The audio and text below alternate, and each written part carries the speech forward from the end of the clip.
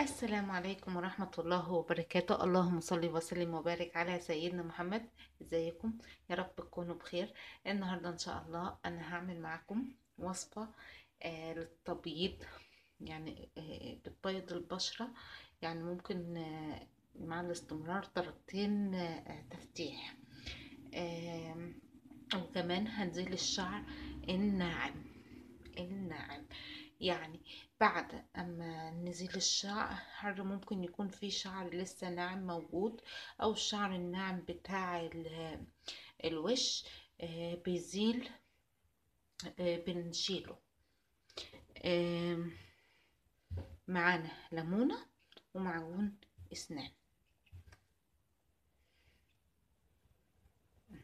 ليمونة كده. أنا هستعمل حتة حاجة صغيرة خالص عشان مانيش محتاجة دلوقتي وعصرة ليمونة إن هو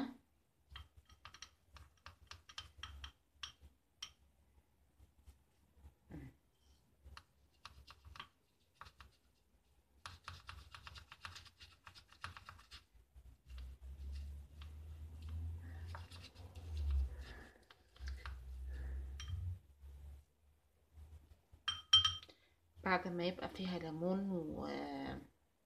ومعجون اسنان. تبقى يا جماعة طبقة سميكة كده. ونسيبها تقريبا حوالي آه عشر دقايق زي زي كريم وان وكده. آه نسيبها عشر دقايق وقماشة ناعمة أو منديل نزلها طبعا يا جماعة لو إحنا عايزينها تفتيح آه بس لو إحنا عايزين الوصفة دي تفتيح نفضل نمشي كده عليها. لو إحنا عايزينها تفتيح بس. معجون الأسنان بيفتح جامد. آه والليمون برضو مؤشر طبيعي. آه الوصفة دي ما تنفعش آه للبشرة الحساسة. ما ينفعش للبشرة الحساسة خالص. آه تنفع للبشرة العادية.